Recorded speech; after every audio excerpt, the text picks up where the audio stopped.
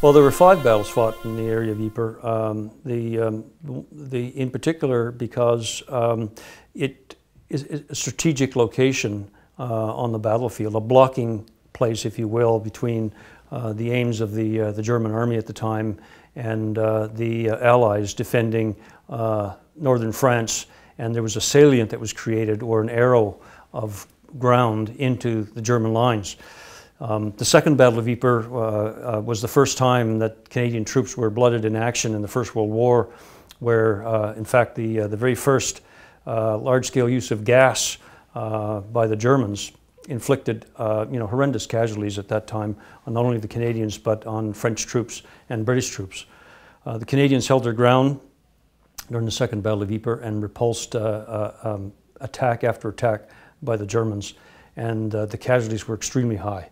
Uh, many of those 6,920 uh, men who have no known graves in Belgium uh, lost their lives during the Second Battle of Ypres and during the Third Battle of Passchendaele. Uh, and thousands more, of course, were, were wounded in action.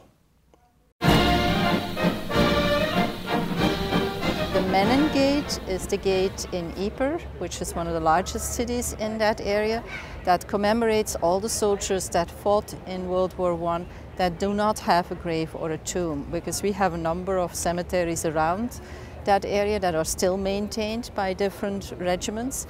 Uh, but the Menin Gate has all the names there because we did not want to forget a single soldier that lost their life. The Menin Gate is actually uh, a symbol that uh, commemorates uh, the missing soldiers of the British Commonwealth. And it's a very visible symbol in Ypres. It's a big gate and has the name of over 60,000 missing soldiers uh, engraved on the gate. Um, it's virtually in the center of town. Um, it's right on the Menin Road and marks the spot for the main entry, uh, the historic main entry to the city of Ypres from centuries ago. It was built in 1927 and uh, when it was inaugurated in 1928 by uh, Field Marshal Lord Plumer, as part of his remarks, uh, he said, and I'm quoting, uh, they are not missing, they are here. And he was referring to the 55,000 names of British Empire soldiers, including the 6,220, 6,920 names of Canadians um, whose names are emblazoned on the Menin Gate, uh, who lie in Flanders fields. And as we know, as history progresses, as uh, people age, as soldiers of the First World War, the veterans die, uh, it's very important to preserve the memories. And the gate is actually a symbol uh, that commemorates uh, the events around First World War and uh, commemorates uh, the missing soldiers. And it really keeps the memory alive because it's very much a structure that is very much visible. It is a, a focal point for those who want to remember those soldiers, for those families who had nothing uh, of left of their loved ones, to be able to come to that spot in Europe and stand at the Menin Gate and feel as if they were close to their son uh, or their father or whoever had uh, lost their lives and had no known grave in Belgium.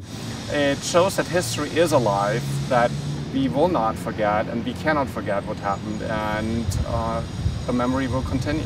The 30,000th time that that was played um, was just uh, recently.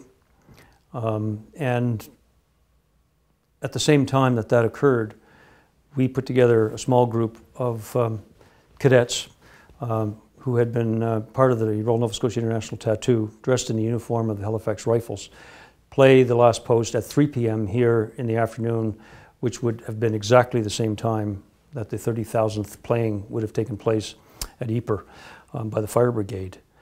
The, um, the only time that the uh, last post has not been played at the Menin Gate was during the time in the Second World War when Belgium was occupied by the Germans. And even then, the ceremony was still conducted in England until such time as Belgium was liberated. And then immediately thereafter, the uh, fire brigade started up its uh, daily commemorative uh, playing of the last post. Uh, that is a significant um, act of remembrance, uh, one that the Belgian people uh, feel very strongly about. And having just returned uh, from Belgium and visiting the Menin Gate a couple of months ago, I can assure you that uh, the people of Belgium very much appreciate the sacrifice that other countries made to ensure that they enjoy the freedoms that they have today.